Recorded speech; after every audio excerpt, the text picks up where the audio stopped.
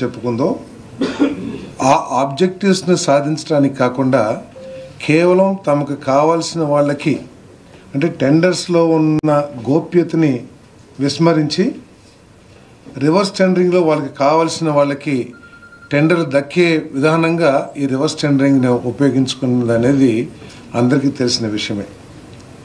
దీంట్లో ఏదైతే స్ఫూర్తి టెండర్స్ యొక్క స్ఫూర్తి ఉందో ఆ స్ఫూర్తికి తూట్లు పొడిచి ఈ టెండర్ విధానాన్ని తమ గుప్పిట్లో పెట్టుకుని తమ వాళ్ళకి కావాల్సిన వాళ్ళకి వర్క్లు ఇవ్వాలనే విధానంలో ఈ టెండర్ రివర్స్ టెండరింగ్ విధానాన్ని ఉపయోగించుకున్నది అనేది అందరికీ తెలిసిన విషయమే.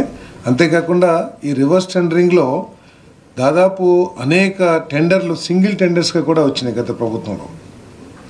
సో వీటన్నిటిని దృష్టిలో పెట్టుకుని ట్రాన్స్పరెంట్గా సివిసి ఏదైతే సెంట్రల్ విజిలెన్స్ కమిషన్ ఏదైతే ప్రతిపాదించిందో ఏదైతే నిర్దేశించిందో టెండర్స్ని ఏ విధంగా చేయాలి అని నిర్దేశించిందో సివిసి గైడ్లైన్స్ ఆధారంగా ట్రాన్స్పరెంట్గా దేశంలో ఏదైతే టెండర్ విధానం అవలంబించబడుతుందో ఎక్కువ రాష్ట్రాల్లో ఆ విధానాన్ని మళ్ళీ తీసుకురావాలని చెప్పేసి ప్రభుత్వం నిర్ణయించిందని చెప్పేసి మనం చేస్తా ఉన్నాం ఇది అన్ని డిపార్ట్మెంట్స్ కూడా ప- ఇది- ఇదవుతుంది.